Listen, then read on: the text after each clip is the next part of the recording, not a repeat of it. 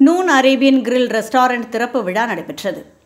Noon Arabian கிரில்லின் மற்றொரு கிளை என்ஜிஓ பி காலனியில் noon Arabian grill multi cuisine restaurant என திறக்கப்பட்டுள்ளது. அதன் திறப்பு விழா சிறப்பாக நடைபெற்றது.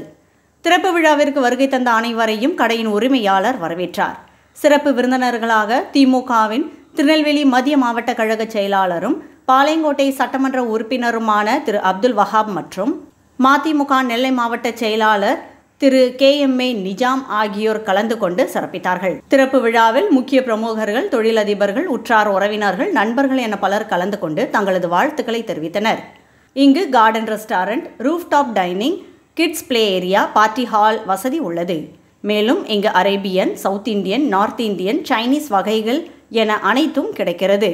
எல்லா வளமும் பெற்று பல்லாண்டு வாழ வாழ்த்துகின்றேன்.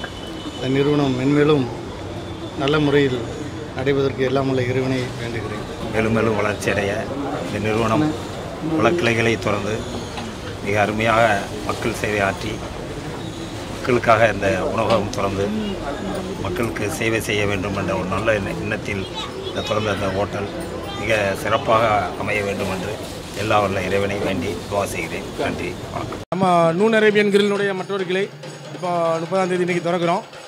இதில் வந்து நாங்கள் ச Arabian South Indian North Indian மற்றும் சைனீஸ் வகைகள் ஜூஸ் ஐட்டம்ஸு